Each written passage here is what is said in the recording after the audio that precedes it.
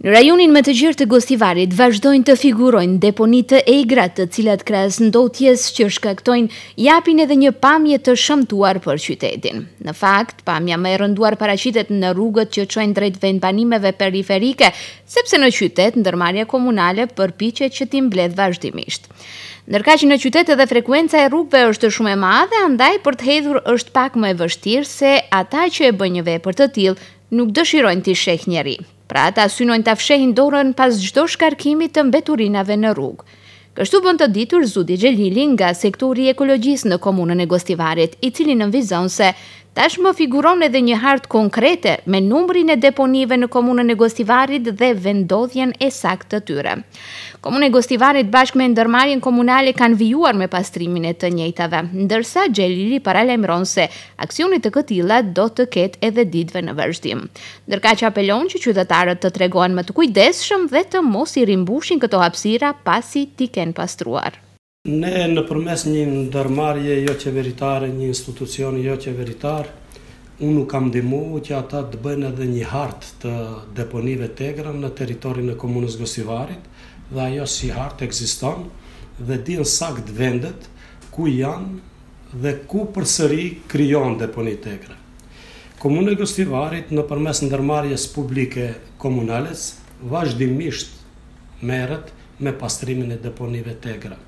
Kemi realizuar disa aksione për pastrimin e tyre, siç janë te kazermat, në Turçan të Vogël, në Çegran, tash së shpejti edhe te Tullana, dhe për fat të keq, pasi ne i pastrojmë këto vende, na përsëriten, domethënë deponitë e egra dhe shfrytëzoj rastin që nëpërmes mediumit tuaj t'u bëj apel qytetarëve që të kenë kujdes për shkak se Këto tre mediume që e krijojnë mjedisin jetësor siç është toka, uji dhe ajri janë jetike për jetën e njeriut dhe ne jemi ata që duhet të kujdesemi për mbrojtjen e tyre.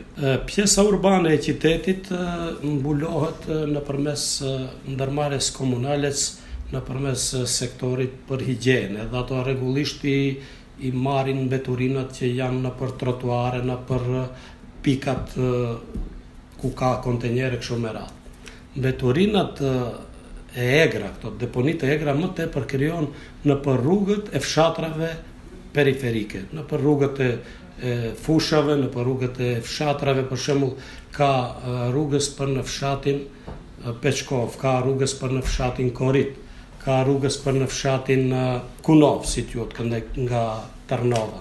Ka rrugës për në fshat për në Mavrovë, deponi t'egër, në anën e majtë mbi fshatin Mirditë e kështu me radhë. Gati se në çdo vend në periferi ka deponi t'egra, që do të ketë dënime për ata që do të gjuajnë mbeturina nëpër hapësirat publike, është vendim i prerë që e ka paralajmëruar edhe vetë kryetari i komunës së Gostivarit Arben Taravari.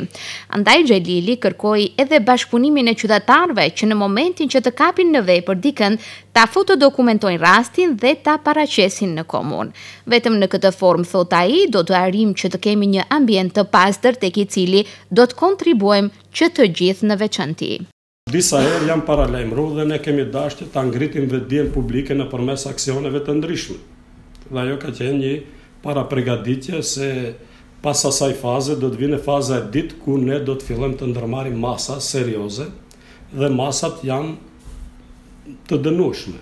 Kështu që unë sot kam kërkuar të ma sjellin listën e kujdestarëve komunalë dhe të inspektorëve dhe do të organizojmë një takim me kryetarin se edhe kryetari ka paralajmëruar se do të ketë dënime. Ne do të apelojmë të gjithë qytetarët që kur të shohin se dikush bën një vepër të tillë të na informojë.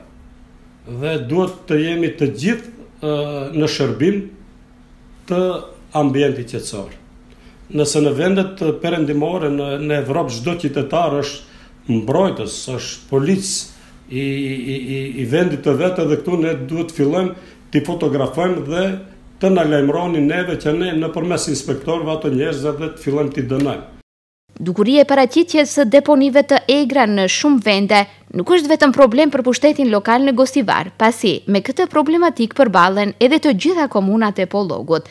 Në këto deponi, më shpesh haset material ndërtimor, mobilie të nxjerra nga përdorimi, veshmbathje të vjetëruara etj. Nuk kanë munguar pamjet ku në kuadër të bërllokut ka pasur edhe arkivole, që paraqet një pamje shumë të rëndë për kalimtarët e rastit. TV dy ka raportuar në disa raste për paraqitje të këtilla. Komuna me ndërmarrjen kanë intervenuar me pastrimin e të njëjtave, por më pas, po e njëjta hapësirë është rimbushur nga qytetarë të pandërgjegjshëm, që ngurrojnë të shkojnë deri në Rusino dhe shkarkojnë bërllokun rrugëve.